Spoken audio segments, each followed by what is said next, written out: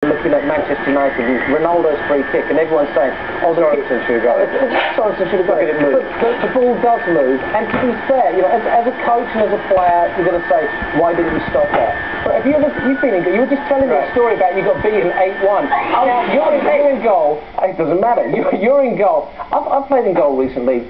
These new balls fly, I know. and they do move, and when